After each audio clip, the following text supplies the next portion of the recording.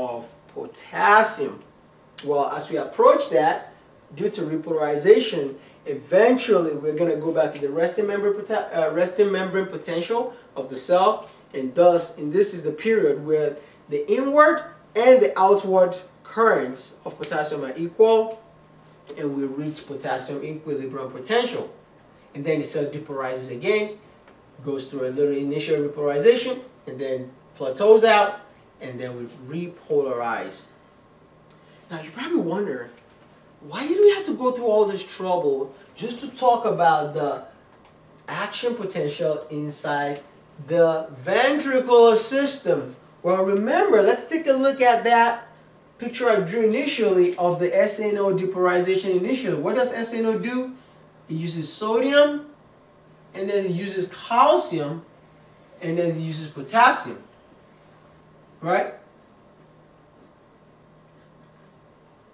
calcium, influx of sodium on resting membrane potassium, uh, uh, sodium, calcium, and this is the, for the SA node, that is the phase zero. So what I want you to see here is the phase zero, which actually causes the depolarization of the SA node, actually requires calcium compared to the depolarization of the ventricles or the atrium, which requires sodium. That is the big difference. That is the big difference. That is why the intrinsic rate of phase 4 depolarization, so this is phase 4, remember? This is phase 4, right? Phase 4 is here again. 4, 0, 1, 2, and 3, 4.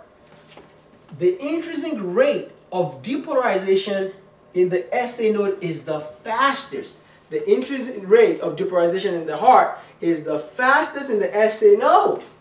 So the SA node depolarizes faster than the AV node, which depolarizes faster than the His bundle, which depolarizes faster than the Purkinje fibers. Now, why am I mentioning this? This is because the SA node is what controls our heart rate. Yes, exactly. So what is our normal heart rate? Well, our normal heart rate is between 60 to 100 beats per minute. So when the SA node depolarizes, it depolarizes and causes depolarization of the myocytes spreading into the myocytes. When the myocytes receive this, they're all going to undergo this pathway, right? And then they're to depolarize and then they contract. When they contract, they're to squeeze the blood from the atrium straight into the ventricles. But the ventricles is not to receive the depolarization from the SA node to the AV node. The depolarization from the Purkinje fibers is to spread to the ventricles. Now the cardiac myocytes are to undergo this again.